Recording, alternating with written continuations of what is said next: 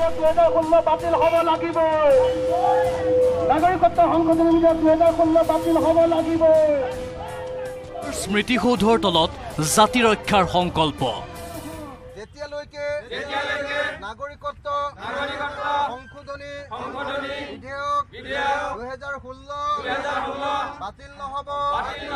তেতিয়ালৈকে অসমৰ ৰাইজৰ আন্দোলন বন্ধ নহ'ব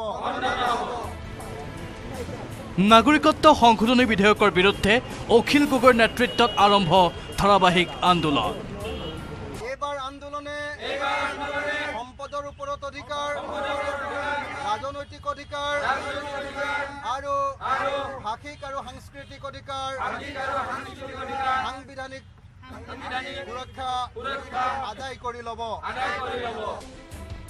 হয়। ৰক্তবৰ্ণ সংকল্পৰে নাগৰিকত্ব সংশোধনী বিধেয়কৰ বিৰুদ্ধে দেওবাৰৰ পৰা আৰম্ভ হ'ল কৃষক মুক্তি সংগ্ৰাম সমিতিৰ গণ সজাগতা অভিযান।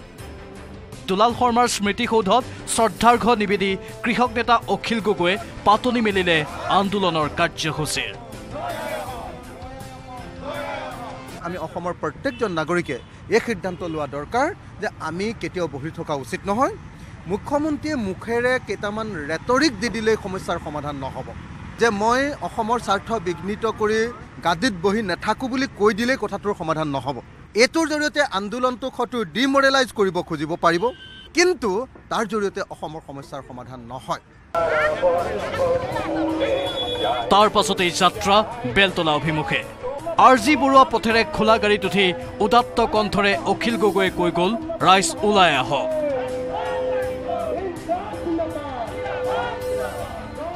একত্ৰিত হওক বিৰোধ কৰক নাগৰিকত্ব সংশোধনী বিধেয়কৰ। কৈ দিব খুজিছোঁ যে এতিয়া আৰু ঘৰত বহি থকাৰ সময় নহয়। এতিয়া যদি আমি কেৱল টিভি চাই বহি থাকোঁ আমি যদি ঘৰত বহি থাকোঁ আৰু আমাৰ নিজৰ ভিতৰতে কাজিয়া পেচাল লাগি থাকোঁ তেতিয়াহ'লে অসমীয়া জাতি নাবাচে।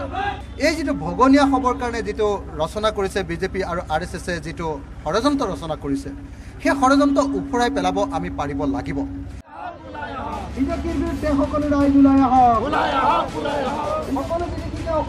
চানমাৰীৰ পৰা বেলতলা বজাৰলৈ অখিলৰ নেতৃত্বত নাগৰিকত্ব সংশোধনী বিধেয়ক বিৰোধী সমদল। মাজে মাজে থমকি ৰয় এই সমদল। আগবাঢ়ি আহে বহুজন। বিধেয়ক বিৰোধী একো একোখন গুহাৰী পত্ৰ তেওঁলোকৰ হাতত তুলি দিছে অখিল গগৈ নাইবা গগৈৰ সমৰ্থকে।